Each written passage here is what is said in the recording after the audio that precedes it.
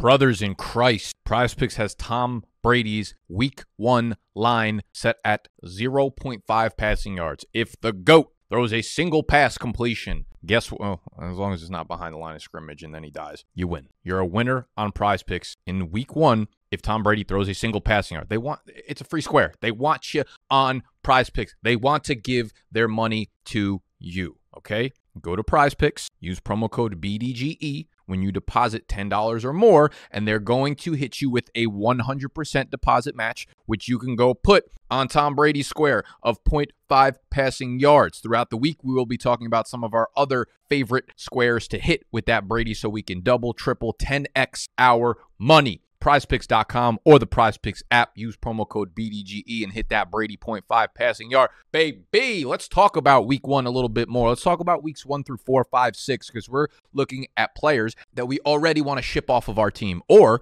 we are creeping in the bike ground. Guys who are getting drafted maybe a little bit too early, but we know as the season progresses, we're going to want to acquire them. So today's video is our favorite trade targets, either off our team or towards our team based on early season and late season schedules or different mechanic situations, opportunities that will arise throughout the season. So the best trade targets right now, let's tuck our shirts in.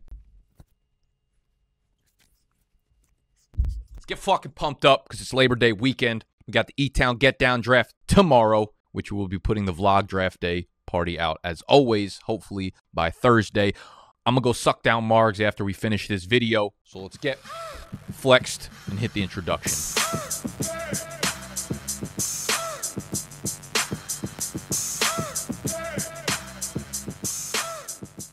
I know some of y'all skipped it. Very, very rude, but we shall progress into Mr. Nicholas Chubb, Cleveland Browns running back. We are going to be looking to ship this man off. I have a few problems with Nick Chubb. And I think the schedule, especially the early season, works tremendously in his favor. Nick Chubb's not a pass catcher. We already know that. He excels in games in which the Cleveland Browns win, in which they are leading, in which they can hand the ball off and just milk clock, milk clock.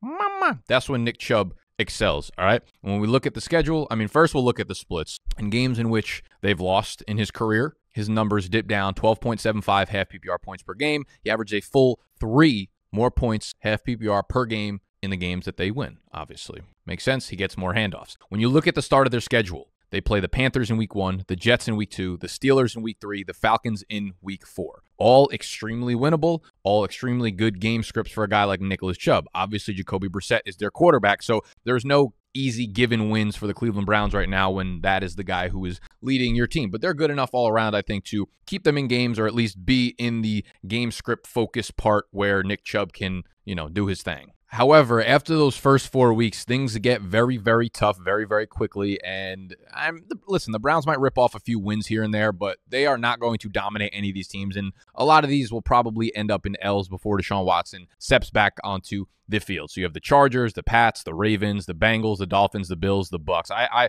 n- not a single gimme game there, not a single game against a, a weak team there before Deshaun Watson gets onto the field in week, I think it's 13 against the Texans. And after the first four weeks, I mean, they got their bye between the Bengals and the Dolphins. And you look at the schedule after the first month. I mean, they have to play Baltimore twice. Baltimore was the single highest graded run defense last year per PFF grades. They have to play Washington in the championship, right? Week 17 of fantasy football. They were the number two ranked run defense per PFF. They have to play the Buccaneers right before Watson gets on the field. They are the number three ranked def- run defense in the NFL. The Dolphins were the number four. The Chargers, number six. Like they have every single game they have. Basically, you look at all the top run defenses of last year, and obviously things change and pieces move, and some players develop or get worse, whatever the case may be. There's a lot of moving parts here, so this is not just black and white. But for the most part, they play against some of, if not just the single string of best run defenses in the NFL. Some of them are going to come without Deshaun Watson on the field. A lot of these games are going to be tough for them to win. So I don't think game script will be working in Nick Chubb's favor for most of the games outside of the first month. So I expect him to get a really heavy workload early on. They're going to want to depend on him. They're going to have good game script. I expect him to explode over the first month of the season. That's when you look to push him off, okay? We're going to trade Nick Chubb after the first month of the season. After Nicholas Chubb, we'll move on to the New England Patriots. You know, there is a specific player I want to talk about, but just the general team this offense. We haven't heard much good throughout the offseason. Because Josh McDaniels left their OC, They they didn't really replace him with anyone. Like they have Matt Patricia. They have a bunch of guys who they didn't even like really name an offensive coordinator. And apparently, this is the first time they're moving away from the offense that they had used for the last like 15 to 20 years, and they're struggling. Right? They're going to be a, they're going to have a learning curve in this offense. However, there is no better coach. Say what you want about Uncle Bill. Say what you want about Brady. Say what you want about the wide receivers he drafts. There is no better coach in the NFL that adapts his team as the season goes on. This is what make or break makes or breaks good coaches and good teams. You see it with Baltimore, you see it with New England, you see it with these really good teams that as the season progresses, they understand what they do and don't have, what their strengths and their weaknesses are on their football team and they adapt, right? A lot of coaches come in with their system, they come in with their guys, they come in with this and that, and then they force everything into that mold and they get worse as the season goes on. The Patriots are the opposite of that. So as the season progresses, I expect them to come out of the gate and struggle a little bit not even struggle, but experiment a lot and try to figure out what the actual identity of this team is. You can ask yourself, hey, they brought in DeVante Parker. They drafted Tyquan Thornton. Like, are they trying to let Mac Jones air the ball out a little bit more? Maybe. But this has been a run heavy team for a long time. And they probably want to run their offense through the Damien Harrises and the Rhamondre Stevensons. And that is what brings me to Mr. Rhamondre. I think the first few weeks of this season, maybe the first six weeks of the season, is going to be this team trying to figure out what they want to do and where their personnel fits in best. And there is no chance, as much as I love Rhamondre Stevenson, there's no chance he just comes out of the gate as a three down workhorse. He's not going to be the featured guy there. Will he split the backfield with Damien Harris? Yes, but it's not going to be Rhamondre Stevenson 19 touches, Damien Harris 9 or 10, right? That, that's just not going to happen right away. If he does secure the job, it will happen gradually over the course of the season, okay? It's going to come with adapting the offense, it's going to come with taking that role a little bit more week by week, more pass catching duties, more early down duties, maybe some goal line work. It'll happen over the course of the season. And as I'm still trying to draft Rhamondre anywhere I can. But if I don't get him, there will be a trade window early on in the year because this team will look like shit early on on offense. Okay. I think that's what's going to happen. They play three of their first four games on the road. They start off at Miami, which is the fourth best rush defense per PFF last year. They're at Pittsburgh. They play against Baltimore, which is the top run defense from last year. They're at Green Bay, tough place to play in Lambeau. Like it's not going to be an easy road to start this season for the New England Patriots, and I think that'll give you a buy window for Rhamondre Stevenson. Same thing goes with Mr. Skyy Moore, the rookie wide receiver that the Chiefs took in the second round. Listen, like most non-early first round rookie wide receivers, take a while to really like crack the lineup and make an impact just on the field, but especially in in fantasy football. So you'll see a lot of them, like if they do crack the starting lineup, which is not a given by any stretch of the imagination, I think you're going to see the same thing with like Skyy Moore and Garrett Wilson and maybe even like Treylon Burks. Like they're going to take some weeks to see more than 30 to 40% of the team snaps. I think we see Skyy Moore play, you know, 30% of the snaps maybe for the first month or so.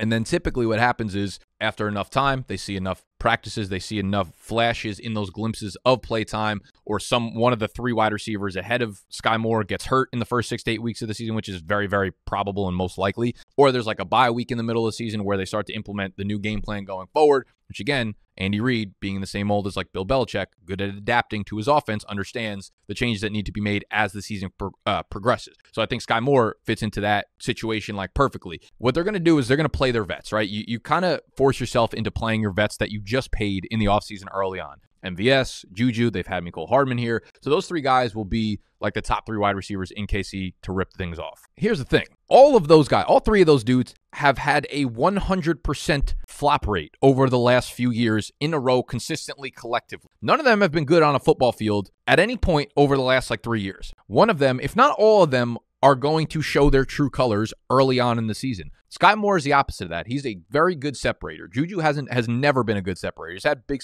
whatever. I'm not here to talk about those individual players. Skyy Moore will get his way onto the field for one reason or another. And I think one of the beautiful parts about this division is while the offenses are going to be awesome, the coverage grades from last year, the other three teams, Kansas City was the second best coverage graded team in the NFL last year per PFF. The other three teams, the Chargers, 31st, Denver, 30th, Las Vegas 25th. It's going to be a really interesting division because they all have really good pass rush games and they all have really good offenses. So all these games are going to be really exciting. However, the coverage kind of stinks. And we start to look at the Chiefs' second half schedule. Like starting in week nine, they play against Jacksonville, 32nd in pass coverage. Next game, Chargers, which I said 31st. They're the Chargers. I know they're not going to be this bad. They're going to be much improved. They brought on some really nice like cornerback depth, and their their entire team is much deeper than it was last year. I think the Chargers should be betted on heavily to win the Super Bowl this year. The Rams next actually ranked 27th in pass coverage last year. Cincy, but then once you get into the actual fantasy playoffs, Week 14 for some people might start if you have a two week playoff.